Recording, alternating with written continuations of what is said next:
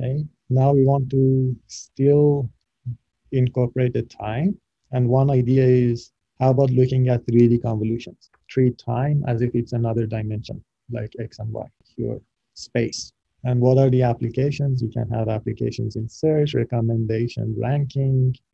You can have action recognition. This one is my favorite anomaly detection. For instance, you have a lot of cameras monitoring our roads every day, and uh, this could be useful for smart cities. And uh, maybe some drunk driver is driving on the wrong side of the road, and you want to be able to detect that from your cameras that are already mounted. So from infrastructure side of things, there is not much to change. The infrastructure is already there. It's just you have the data and being able to work with the data. The other one is activity understanding. What is this video doing? What is this person in this video doing, etc. You can do it for search. And as soon as you get the features out of your video, you can answer questions like this How similar are these two videos together?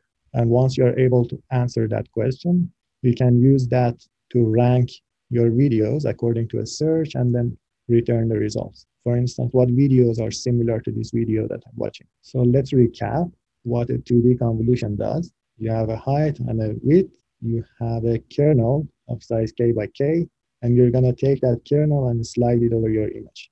That's going to give you your output of the convolution, 2D convolution. We saw this idea in the first paper, I think, uh, and what we were doing then was take as input all of your frames, all of your L frames for your time. And then the way that you're sliding this is you're sliding it only in 2D because as soon as you slide this window over your image, the third dimension, the time dimension, is just multiplying your input with this filter, and that's just a simple dot product and just averaging it.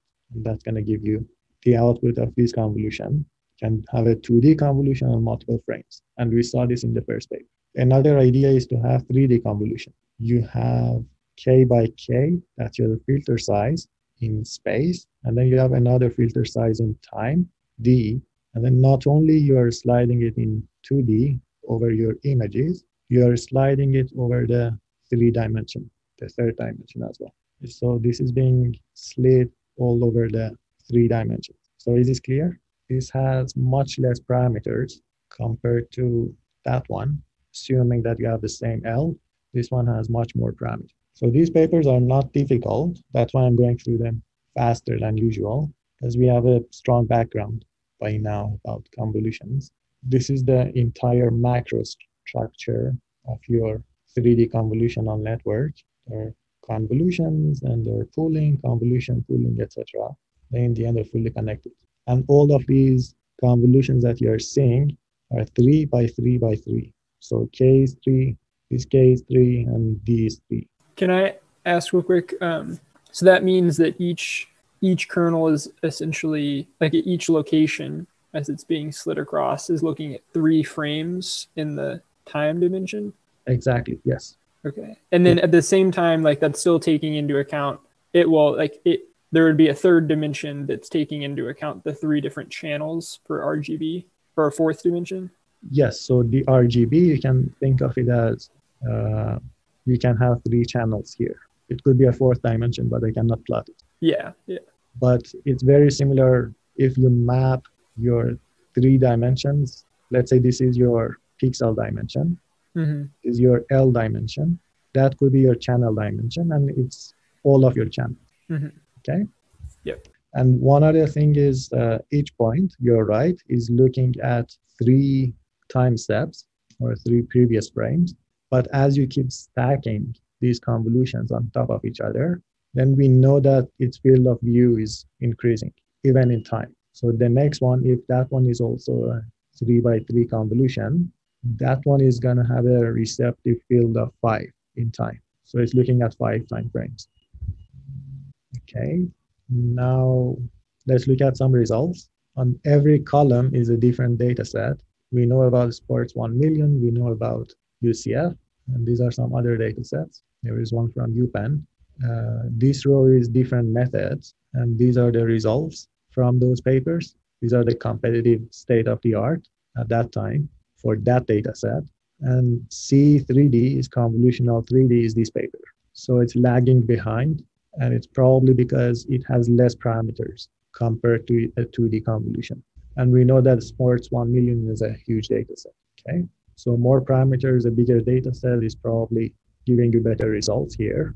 But then for the smaller ones, you're getting pretty good result out of C3D. This one is only looking at red, green, blue channel. And we learned from the previous paper that you can actually include optical flow, etc., some other features. And that's going to improve your performance. Let's visualize some video clips. Let's take a network, a 2D network trained on ImageNet, and let's take this C3D. And these are going to be your feature extractors. So one is the method from this paper. The other one is a network trained on ImageNet.